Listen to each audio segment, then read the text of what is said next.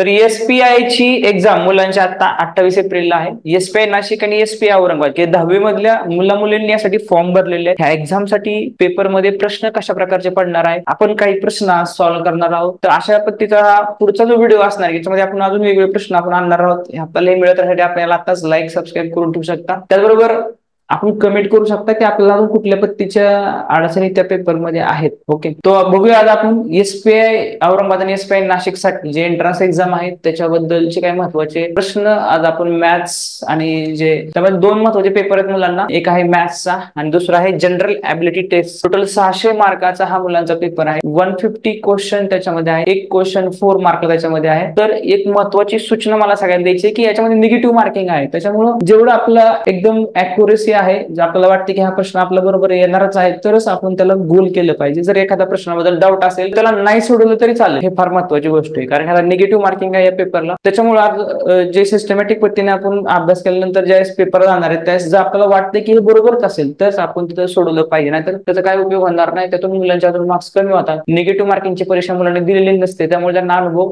बघूया आपण यामध्ये म्हणजे पहिला क्वेश्चन एस पायमध्ये हा पेपरमध्ये विचारलेला आहे. त्याच्या आधारावर दहावीमध्ये जे चॅप्टर्स आहेत मुलांना त्यामध्ये सर्कल्स आहेत इन्स्क्राइब्ड अँगल आहेत. ज्या सर्कल किंवा अँगल्स वरती जेवढे जेवढे सगळे एक्झाम्पल किंवा ज्याच्यामध्ये थेरम्स आहेत ते जेवढे मुलांचे क्लिअर असतील त्यांना या अशा पद्धतीचे प्रश्न शंभर टक्के त्यांना अजून याच्यामध्ये सरावासाठी त्यांच्या टेक्स्टबुक्समध्ये पण असे काही प्रश्न आहेत. सीबीएसई असेल सेमी माध्यम असेल महाराष्ट्र बोर्ड आहे तर सगळ्यांमधून हे सराव मुलांनी करणं अपेक्षित आहे. त्याच्यामध्ये हा एक प्रश्न आला होता परीक्षेमध्ये.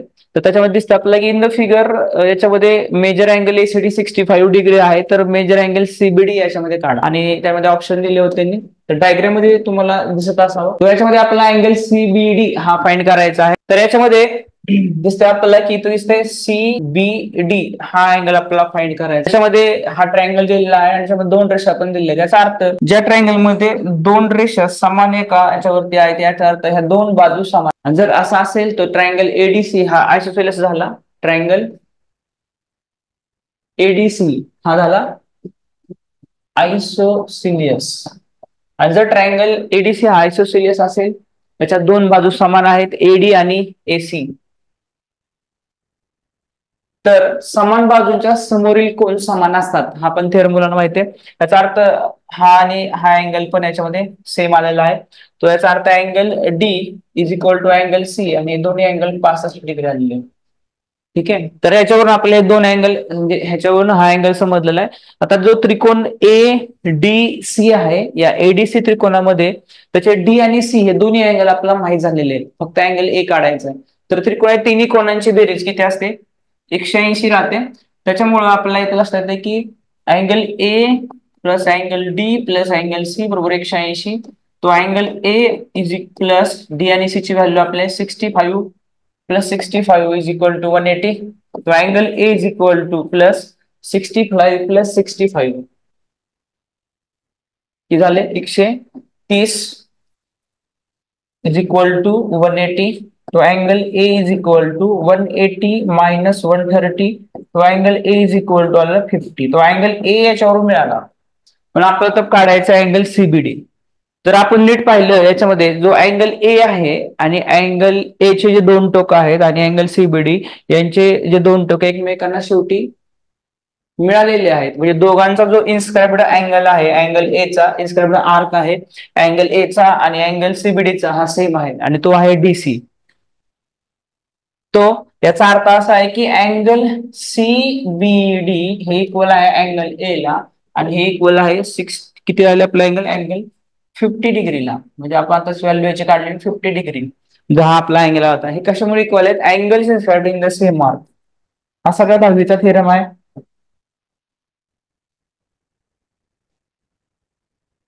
अँगल इज सेम मार्क तर अशा पद्धतीने याचं जे व्हॅल्यू आलेली आपली ती फिफ्टी डिग्री आलेली आहे. ऑप्शनमध्ये चेकआउट करूया.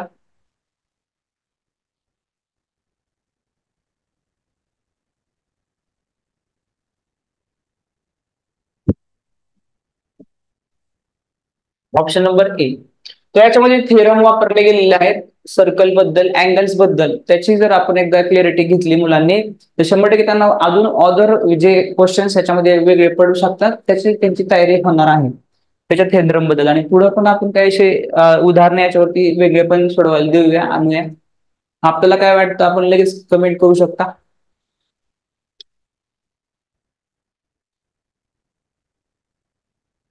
नेक्स्ट पुढे एक प्रश्न दिलेला आहे.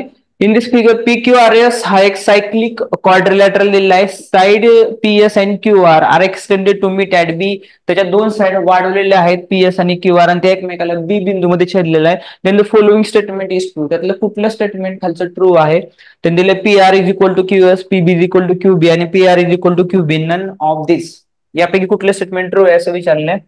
तो सायक्लिक क्वाड्रिलॅटरल हा आहे.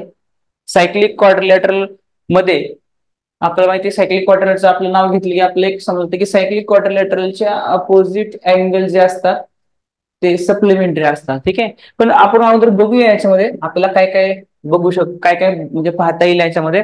तर याच्यामध्ये त्यांनी जे दिलेल्या साईड्स आहेत त्याच्यामध्ये पीबी आणि क्यूबी असं पण इक्वल आहे का असं विचारलं त्यांनी? पीबी आणि क्यूबी जर समजा एखाद्या त्रिकोणाच्या दोन बाजू जर समान असतील तर त्यांच्या दोन अँगल समजा फॉर एक्झाम्पल हे दोन बाजू समान असतील त्याचा अर्थ हे दोन अँगल पण इक्वल असतात. असं कुठं होतंय का हे आपल्याला चेक करायची गरज आहे. तर त्याच्यामध्ये आपण जर बघितलं तर ट्रायंगल पी बी क्यू मध्ये बघितलं आपण. अँगल पी ची जर व्हॅल्यू आपण बघितली हे चाळीस दिले हा पस्तीस दिलाय तर forty plus thirty five okay seventy five angle B या ठिकाणी दिलाय थर्टी डिग्री ठीक आहे? तो अँगल हा जो ट्रायंगल पी बी क्यू म्हणजे दोन अँगल आपल्याला माहीत झाले. तो अँगल क्यू आपला काढायचा तो अँगल क्यू ची व्हॅल्यू आपली आली.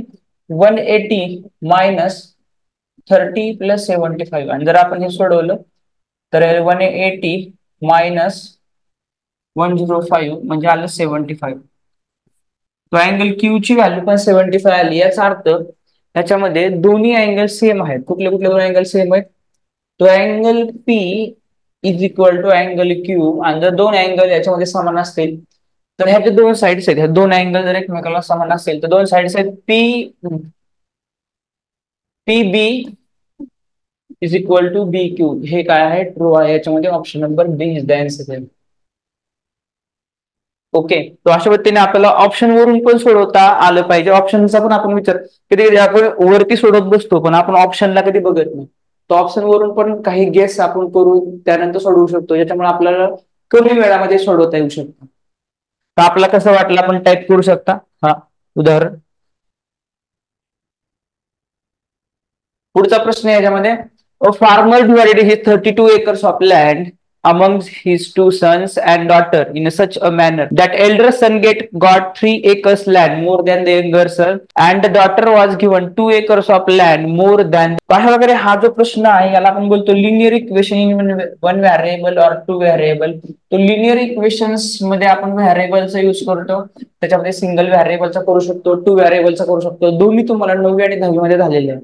तो ज्याच्यामध्ये ह्या टाईपची उदाहरण शंभर टक्के एसमध्ये विचारलं जातं. ज्याच्यामध्ये लिनियर इक्वेशन वन व्हॅरिएबल किंवा टू व्हॅरिएबलचा उपयोग केला जातो. तो टॉपिक तर सगळ्यांना क्लिअर की याच्यावरती एक दोन प्रश्न पडणारच आहे त्याच्यामुळे आपण सोडूया त्याच्यामध्ये हा टोटल बत्तीस एकरचा लँड त्यांनी दोन मुलांमध्ये एका मुलीमध्ये फार्मर्सनी वाटलेला आहे.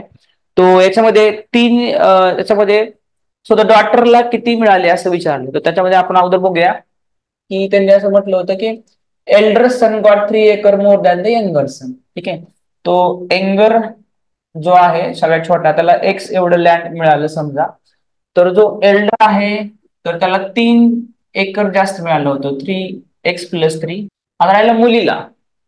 सो डॉटर जे आहे was given two acres of land more than the elder तर डॉटरला याच्यापेक्षा पण दोन एकर जास्त मिळालं. म्हणजे X plus three plus two तो get here X plus five ह्या सगळ्यांचे आपल्याला ही व्हॅल्यू मिळालेली आहे. ठीक आहे? तर याच्यामध्ये अशा पद्धतीची पण काही उदाहरणं असतात की दहा वर्षापूर्वी त्यांच्या वयांचं गुणोत्तर एवढं होतं नंतर एवढं झालं ते झालं. अशा पद्धतीची उदाहरणाच्या शंभर टक्के विचार जातात. तर याच्यामध्ये आता आपल्याला दिले की तिघांची आपण व्हॅरिएबलमध्ये लिहिल्याची व्हॅल्यू तिघांची आपल्याला ऍडिशन करून जे दिलेले टोटल टोटल एकर बत्तीस एकर आहे तो here x plus x plus three plus x plus five is equal to thirty two thirty two thirty आपण ऍडिशन केली याची x plus x plus three x plus three plus five eight is equal to thirty two three x is equal to thirty two minus eight three x is equal to twenty four x is equal to twenty four upon three तो x is equal to eight तीन चोवीस. तर आपल्याला काढायची value डॉटरची. तो answer would be डॉटरची जी व्हॅल्यू आहे ते आहे एक्स प्लस फाईव्ह एक्सची व्हॅल्यू आपल्या आहे एट तो eight plus five we get here thirteen acre thirteen एकरचं land डॉटरला मिळालेला आहे so answer here is option number B तो अशा पद्धतीने linear equation in one variable वरती शंभर टक्के प्रश्न याच्यामध्ये विचारले जातात. त्याच्यामध्ये वन व्हॅरिएबल किंवा टू व्हॅरिएबल पण मुलांना दहावीमध्ये आहे. याच्यावर प्रश्न विचारले जातात ह्याची आयडिया मुलांना या व्हिडिओमधून आले असावे झालेल्या याच्यामध्ये जनरल अवेअर टेस्टमध्ये जे प्रश्न विचारला जातात त्याच्यामध्ये हिस्ट्री जो एस एस टी विषय मुलांना त्यामध्ये इतिहास नागरिकशास्त्र आणि भूगोल याच्यावरती जे काही कॉमनली असे काही प्रश्न पडत असतात त्याच्यामध्ये टोटल सेव्हन्टी फाईव्ह क्वेश्चन सगळ्याचे मिळून आहेत त्याच्यामध्ये. म्हणजे त्याच्यामध्ये इंग्लिश ग्रामर आहे मुलांना सायन्स आहे आणि एस एस टीचे पंचवीस आहेत. त्याच्यामध्ये काही वेगळे प्रश्न कसे पडतात डिफेन्सबद्दल वगैरे या गोष्टीची आयडिया येण्यासाठी हा याच्यामध्ये आपण काही क्वेश्चन्स पाठीमाग पेपरमध्ये पडले तेच बघत आहोत. तर त्यामध्ये Brahmos missile is a missile असं विचारलंय की कुठल्या टाईपचं मिसाईल आहे? तो इंडियाकडे जे मिसाईल्स आहेत सध्या आता सध्या इंडियाने टेस्ट केलेली आहे अग्नी फाईव्हमध्ये पण टेस्ट इंडियाने केलेली आहे बॅलिस्टिक मिसाईलची म्हणजे कुठल्या प्रकारचे मिसाईल आहे सध्या कुठल्या कुठल्या प्रकारचे मिसाईल्स आहेत? आणि त्याचे ते कुठल्या टाईपमध्ये येतं? ह्याची जी क्लिअरिटी आहे हे तुम्हाला मिळू शकते. ज्या मुलांनी सैनिक स्कूल वगैरे एक्झाम दिले आहेत आठवीला त्यांच्याकडे त्या किंवा त्याच्या जीकेच्या सेक्शनमध्ये हे सगळी माहिती असते. आणि याची क्लिअरिटी आपल्याला आली पाहिजे. तो ब्राह्मोस मिसाईल त्यांनी विचारले कुठल्या टाईपचा आहे? आयसीबीएम इंटरकॉन्टिनेंटल बॅलिस्टिक ए अँटीक्राफ्ट और सरफेस टू एअर और नन ऑफ दिस तो ब्रह्मोस मिसाईल जे आहे ते आपले एक सुपरसॉनिक प्रकारामधले आता सध्या सगळ्या फास्ट मिसाईल सध्याचे आहेत हायपरसॉनिक ते सुपरसॉनिक रॅमजेट इंजिन या टाइप मधले ते आहेत. आणि त्याच्यामुळे आयसीबीएममध्ये ते इंटर कॉन्टिनेंटल बॅलिस्टिक मिसाईल मध्ये तर येत नाही. याच्यामध्ये पण अँटी मध्ये येत नाही. सॅम सरफेस टू एअर तर बॅलिस्टिक हे जे ब्रह्मोस आहे ते आपण लँड वरून सरफेस टू सरफेस किंवा एअर टू सरफेस असं पण वापरलं होतं. त्यामुळे याचं जे ऑप्शन येते इथे नॉन ऑफ दिस कारण ते एक सुपरसॉनिक क्रूज मिसाईल टाईपमध्ये येतं. Then in his book archaeology of knowledge insisted on not giving the history only in chronological order हे पुस्तक कोणी लिहिलेलं आहे? आर्किओलॉजी ऑफ नॉलेज की ज्याच्यामध्ये त्यांनी त्यांचं एक मत मांडलेलं होतं. तर आर्किओलॉजी ऑफ नॉलेज हे जे पुस्तक लिहिलेलं आहे त्याचं नाव मायकल फोकार्ड आता हे जे चॅप्टर आहेत त्याच्यामध्ये हिस्ट्री बद्दलचे चॅप्टर स्टेट बोर्डला पण आहेत. आणि मग सीबीएसईला पण तो या टाईप मधले जे काही चॅप्टर्स आहेत त्याच्यामध्ये जे बेसिक हिस्ट्री किंवा हिस्ट्री म्हणजे काय हे सगळ्या गोष्टी दिलेल्या आहेत. याच्यावरती काही प्रश्न पडू शकतात किंवा पडलेले आहेत.